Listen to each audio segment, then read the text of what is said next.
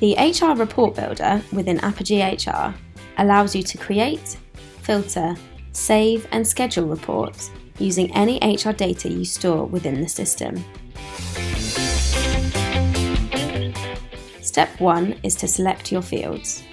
You can switch on and off fields from any category and subcategory, including custom fields you have created. Then you can apply your filters. For this example, we are going to look at all performance reviews that are due within the next three months.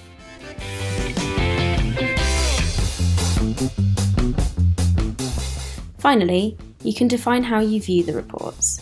Let's view it in date order, starting with the soonest performance review. Your results will be shown to you instantly.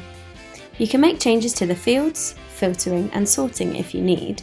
However, we're going to save this report and set it up to run automatically on a schedule.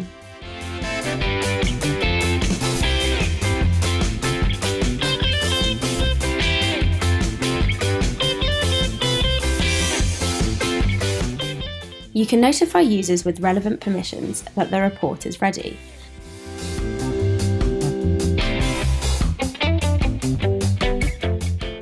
And even send it as an attachment on an email. Now we're going to run and download a report that someone else has created.